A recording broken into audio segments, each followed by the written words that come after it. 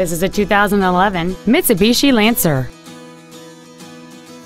Features include alloy wheels, cruise control, a keyless entry system, a CD player, a rear spoiler, fog lamps, tinted glass, a traction control system, an anti-lock braking system, and this vehicle has fewer than 9,000 miles on the odometer.